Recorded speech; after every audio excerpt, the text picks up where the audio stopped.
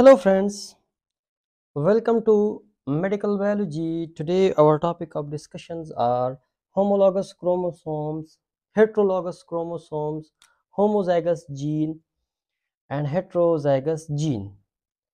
So first of all we will discuss uh, homologous chromosomes.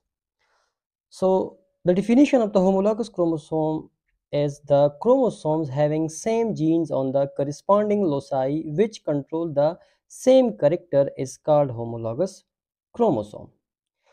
यानी अगर मैं इस डिफिनीशन को और ज़्यादा इजी बनाऊँ तो होमोलॉगस क्रोमोसोम का मतलब ये होता है कि वो क्रोमोसोम जो पेयर की फॉर्म में पाए जाते हैं जिसका एक पेयर का एक हिस्सा एक क्रोमोसोम मदर की तरफ़ से आता है दूसरा पेयर का हिस्सा फादर की तरफ़ से आता है। तो जब ये दोनों क्रोमोसोम आपस में मिलते हैं तो ये एक पेयर बनाता है और उस पेयर को हम बोलते हैं होमोलॉगस क्रोमोसोम।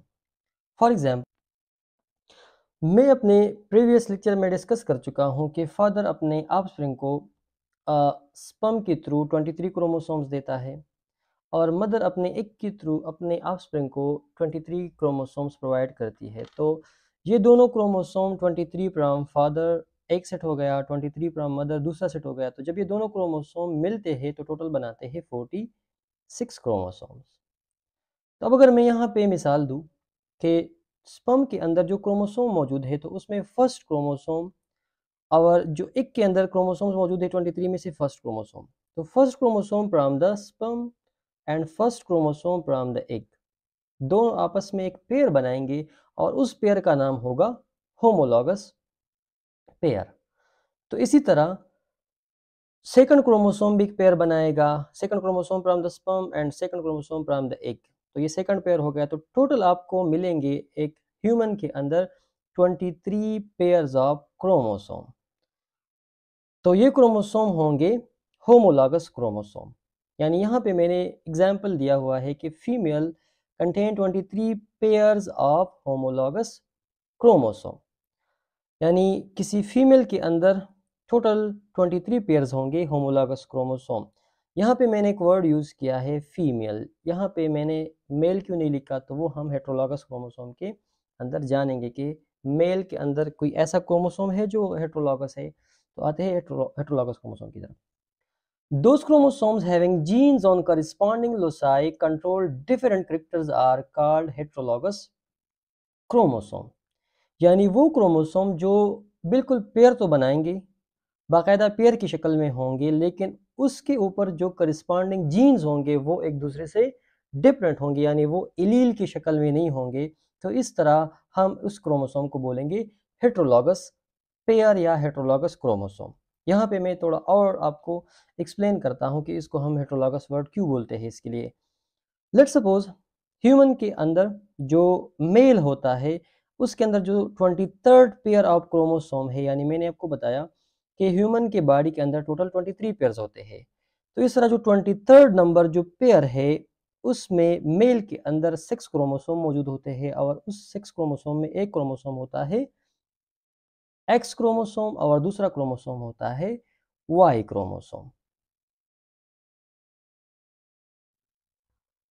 तो ह्यूमन मेल के अंदर जो ट्वेंटी थर्ड पेयर है, वो उस पेयर को हम बोलते हैं सेक्स क्रोमोसोम यानी इसके लिए हम वर्ड यूज़ करते हैं सेक्स क्रोमोसोम क्यों?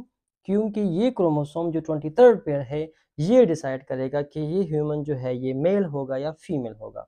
तो अगर ये तो मेल है तो इसके अंदर जो क्रोमोसोम होंगे वो होंगे एक्स एंड वाई यानी ट्वेंटी थर्ड जो पेयर होगा वो एक्स वाई होगा। अगर फीमेल है तो वो होगा एक्स एक्स यानी फीमेल के अंदर सेक्स क्रोमोसोम होते हैं एक्स एक्स और मेल के अंदर होता है एक्स वाई। तो, तो अब अगर हम इन दोनों क्रोमोसोम को देखें तो एक्स क्रोमोसोम के ऊपर जो जीन्स पड़े हैं वो वाई क्रोमोसोम से टोटल डिफरेंट है यानी एक्स क्रोमोसोम का शेप और प्लस एक्स क्रोमोसोम के जीन्स जो है, वो वाई क्रोमोसोम के शेप और वाई क्रोमोसोम के जीन से डिफरेंट होंगे। तो ना तो ये दोनों क्रोमोसोम के जीन्स एक जैसे है, यानी ये एलील्स नहीं है, और दूसरा दोनों क्रोमोसोम का शेप भी एक दूसरे से डिफरेंट है।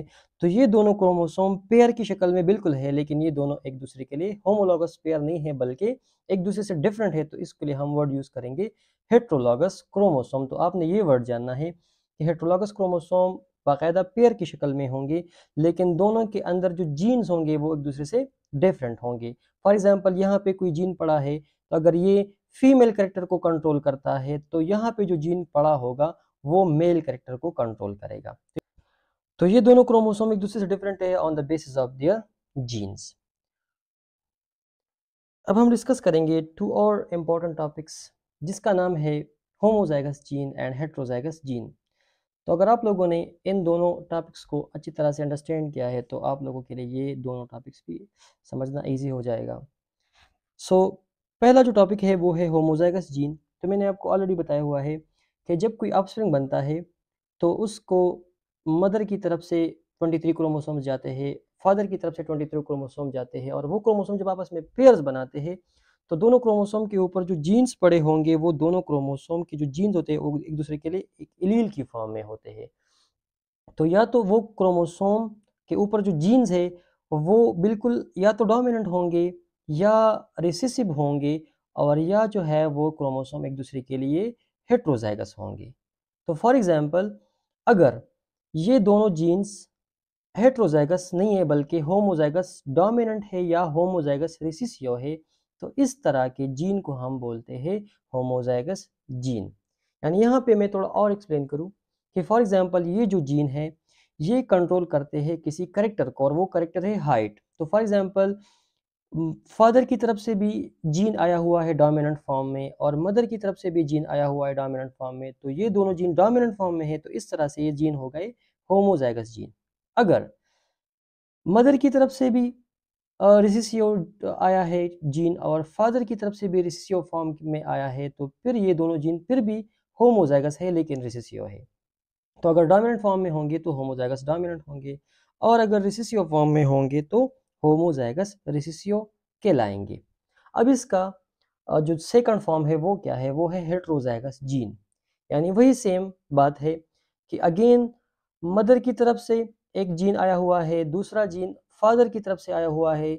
दोनों क्रोमोसोम एक दूसरे के लिए होमोलॉगस क्रोमोसोम है।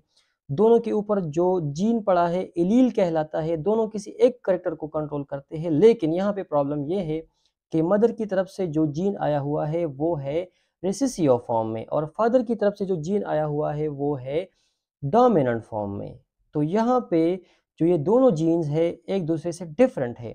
कंट्रोल करते हैं किसी एक करेक्टर को, दोनों एक ही कंट्रोल करेक्टर को कंट्रोल करते हैं, लेकिन दोनों जीन एक दूसरे से डिफरेंट है। एक डोमिनेंट फॉर्म में है, दूसरा रिसेसिव फॉर्म में है। तो इस तरह के जीन को हम बोलते हैं हेट्रोजाइगस जीन तो होपफुली आप इन चारों टॉपिक्स को अच्छी तरह से समझ चुके होंगे।